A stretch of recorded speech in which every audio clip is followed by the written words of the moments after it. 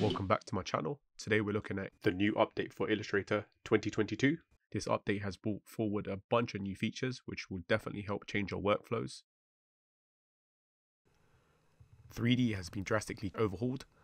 The approach has been changed to a brand new panel which can be applied through the effects panel and then you can just click on the extrude. The reason why this has changed so much is to try and create more dynamic workflows for 3D shapes We've got four different approaches, the plane, the extrude, the revolve and the inflate, and I'll quickly show you how they work. So the plane is essentially just taking your shape and putting it into whichever 3D view. Sometimes you can be a bit slow to start up, but once you have the view set up, you can move it around into whichever view you need. Extruding is literally extruding the face to add 3D depth. This can be used to create shapes like cubes and things like that. Where these shapes are all live, you're able to adjust the corners, the strokes, and any sort of visual approach. We are also able to use bevels, which can be applied in steps. So you can create really interesting shapes quite easily within Illustrator. Uh, you can flip the bevel so the depth goes inwards as well as outwards. Um, and you can also change quite a lot of the settings so you're able to create shapes that realistically work for whichever environment you're needing them for. You can play with the views using either the panel itself or by clicking on the circle and moving it around in 3D space. This is quite common if you use 3D software. So let's quickly turn off the bevel and let's show you some of the other features. So revolve is essentially similar to the previous revolve, which would take the shape and revolve it around into like a cylinder. But the cool thing is we can actually make it into steps. So we can sort of create um, like use this to create quite interesting pie charts or things like that, things that require uh, different angles. Inflating adds like a balloon effect to the front of the shape. So let's quickly delete this and add a circle because I think this will look quite cool to try and show you how the new materials have been changed. So let's quickly just delete one edge to create a semicircle and then we're going to just revolve it um, as you can see, it creates a cylinder, but we actually need to flip the edge so it creates the sphere. So now that we have the shape, let's go to materials. So materials have been completely overhauled to be in line with Adobe's Substance Painter. So Substance Painter provides a few different materials which can be applied to any shape within Illustrator. Each material has their own settings like bump map, roughness, gloss, metallic. It's quite similar if you've played with nodes in like 3D software.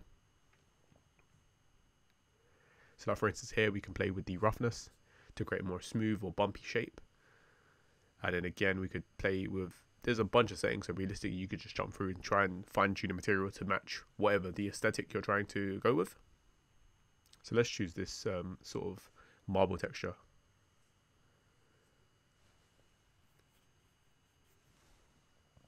Lighting has also been adjusted so we can actually have more control. So there's a few different default types of lighting, but you can also change those to make something new. They've also added a light emission, so we can change the color of the light and its intensity. So if you've got like a, a different color scene that you wanted to light something in a different way, um, you can do that through lighting. We are also able to do dynamic shadows, which is really cool. This is something that I was quite impressed with. So if you turn the shadow on, you can create the box which shadows can cast from and then we can move around the light source to show how far away the object is from the shadow and then if you play with the settings you're able to move it around and create quite interesting shapes and then the intensity will sort of garner the entire canvas and then create that as like the base light source then if we go to, let's just choose like a quick light setting, and then we can also turn on our, uh, ray tracing. So if you have a graphics card, this would be perfect to create really nice looking shadows. So let's turn on ray tracing. It takes a couple seconds to start up just because it's quite heavy on the graphics card. But it looks really cool. So for instance here we've got softness quite high so it creates this really dispelled shadow. But let's turn some of the stuff down. Um, when you're working, it might be an idea to actually turn off ray tracing as it will constantly reload every time or re-render every time you are trying to play with a setting.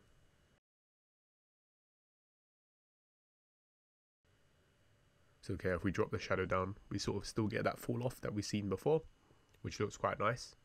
And it sort of adds to the almost fake 3D effect. So you wouldn't necessarily know this was created in Illustrator compared to previous Illustrator ideas. The cool thing is this 3D effect actually works on any shape. So here's like a little logo. So we can add a little extrude to it and then we can apply a material from the selection. So let's just choose a couple different variations, see what happens. So here we got this like um, great material, this silver material. Then with the lighting, you can turn on a shadow. And let's just push that away so then you can see how it looks when you move the camera around.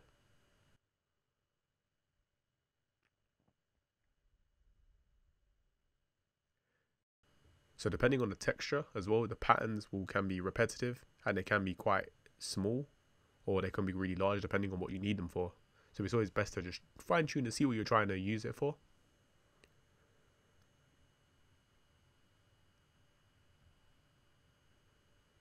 So then here, look, we can move it around in the space or we can move it around in uh, the actual viewing angle. So this looks really cool and it allows us to you know, see the shape in completely 3D space and the shadow helps it pop away from the back. And then again, as this is Illustrator, sometimes you will need projects that will need to be exported for print. So you can export as a vector, which will take a little time to process. And then you can expand the appearance and it will treat it as a vector shape. Some of the materials don't look so good, but I think this is still a work in progress. So it might update as time goes on. So then here you go. You're able to move things around independently and you can still keep the materials as they are. The next feature is the share feature. This is quite a cool thing for working collaboratively. So all you have to do is save your document as a cloud-based document. And then from here, you're able to copy the link or invite um, collaborators to work on your project. So you can either have them to copy or comment live onto the design. So you're able to get really quick feedback. And the cool thing is people just need to have an Adobe um, ID. They don't actually have to have a subscription. Hopefully you found this stuff interesting. And if you did, please drop a comment, like, and subscribe. It really helps the channel out. Thank you.